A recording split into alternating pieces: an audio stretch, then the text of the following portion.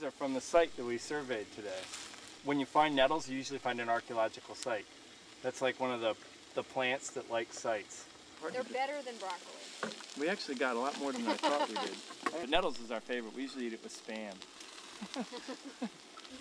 Most of the sites we're going to show you are village sites. You'll see the big houses with the side rooms and, the, and where people lived.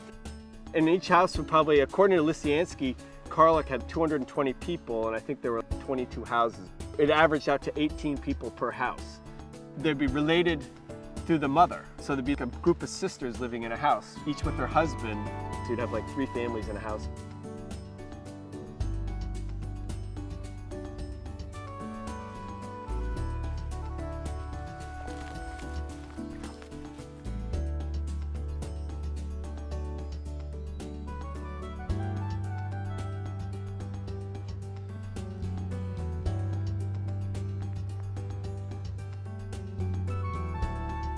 So here we are, Sven. So what have you found so far? Well, I think this is the biggest site on the whole peninsula, Uh-huh. and it extends from here all the way on top of this rock, which is on the um, Shelikoff side, Uh-huh. all the way over there to the, um, I guess you'd call that the Iulik Peninsula side. Yeah, So, and we kind of Palatec Bay, yeah. 78 house pits. Oh. They look like they're all about 1200 AD. They're a lot like what we found at Olga Lakes, Uh-huh. transitional houses. Cool. They all look like they have roof sods, maybe side rooms, pits. Mhm. They look like cluster houses, and I'll show you show you one over here in a minute. All right. The hearths are all we're digging test pits for, and that's why we probe sometimes with with with the ski pole to find the rocks, because all we're doing test pits for is to date these villages, because we want to get the um, age of these villages, and then hopefully we'll be able to, by association, test the age the petroglyphs. Because if the only villages near the petroglyphs are 800 years old, that means the petroglyphs are probably 800 years old. Because the petroglyphs, being on rock, you, there's nothing to date. Everybody calls you Barabras, and Lydia Black used to get mad at me for that. Oh yeah, she got. She says, that's a storage pit. That's not, a, it's a house, the Damashni. I think but- Barabra is a Siberian word. Yeah, it, well, I don't know. But Russians call all um, storage pits Barabras. But our real word, Larry Maffei, who grew up over here, called them chiksloks. He's like, they're not, they're not Barabras, they're chiksloks. That's the real home, a house in Alutiiq. So, It's kind of a mess. but yeah, this is what we did all day yesterday. We made this map Uh-huh. of all the house pits. I think we found 78 house pits out in this area here. Um, and now the next stage is to test them hmm to get charcoal so we can date the, how old they are okay. and maybe find some diagnostic artifacts. Oh, cool. Yeah, look at this. and then we have your petroglyph clusters. Yeah. There's so petroglyph eight, Yeah, seven, nine, six. yeah. Cool. in late prehistoric houses, there'd be um, you'd have a main room. It's sort of like a common room, and then you'd have side rooms where each family lived. And these are the oldest multi-roomed houses found on Kodiak, and they're not very big. They're probably one family still lived in it, but for some reason or another, they're starting to add side rooms. Uh, Amy thinks for storage and it's economic reasons. But anyway, you can sort of see the. It's a three meter by three meter square.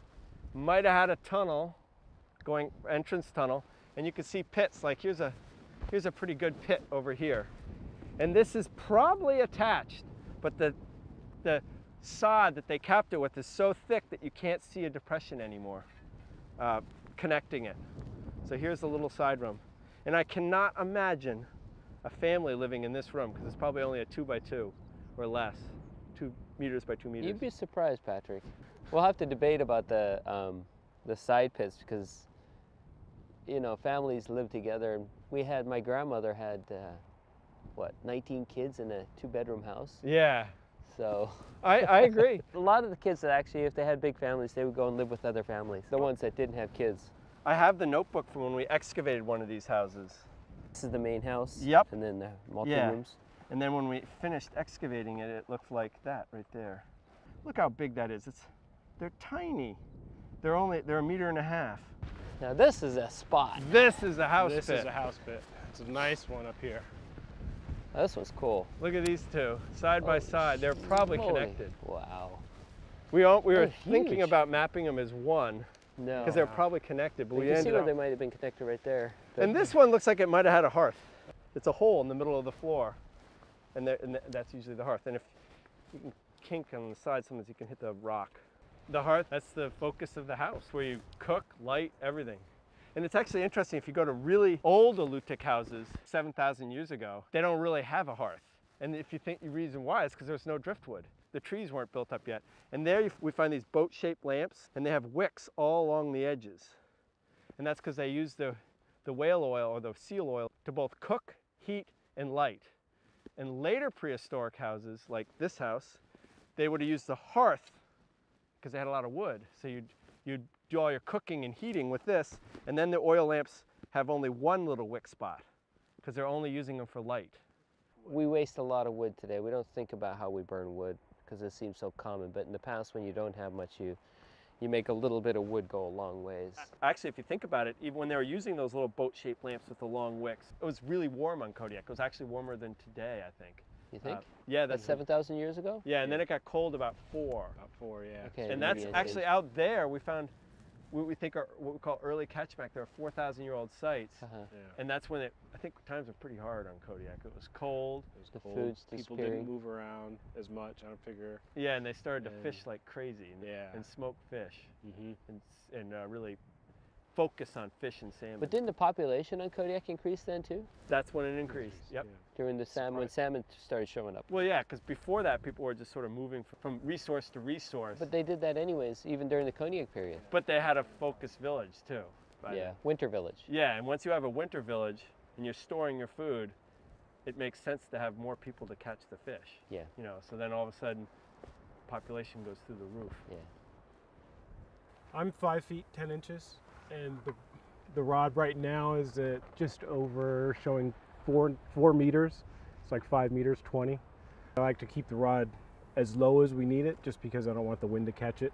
Because one, it's it's a bear to handle, and two, will break the rod. Uh, what I'm doing is I'm standing, trying to give Patrick the center of the house. But when he draws the map, he'll have an exact point where the house is located.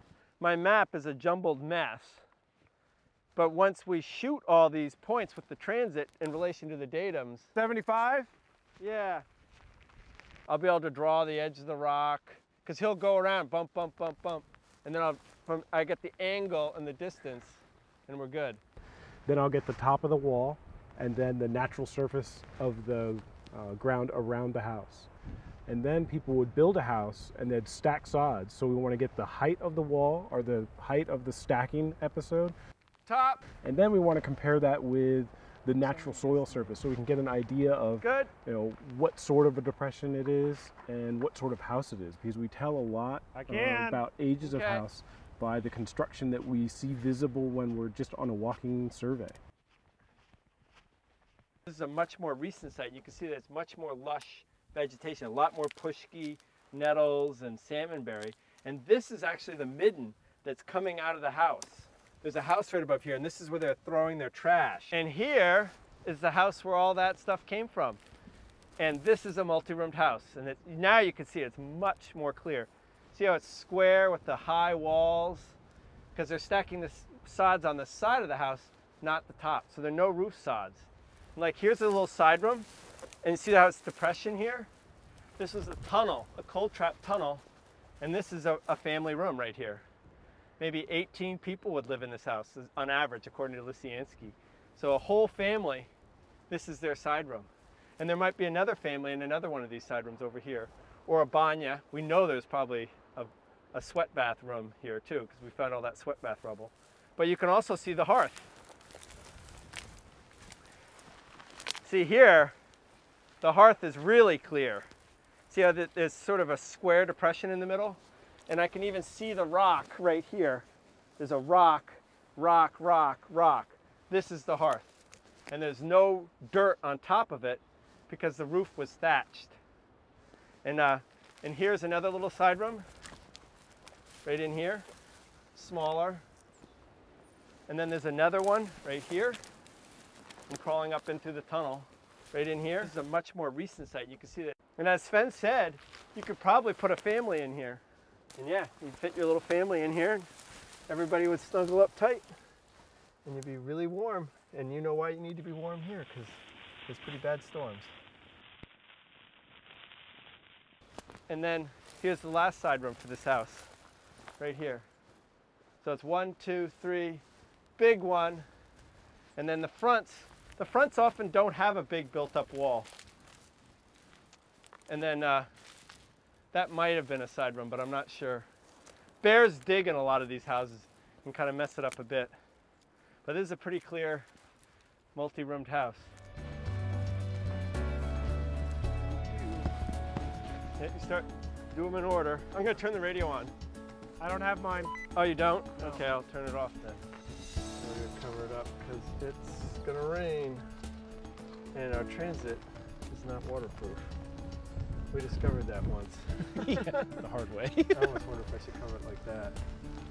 It's gonna blow off though, isn't it?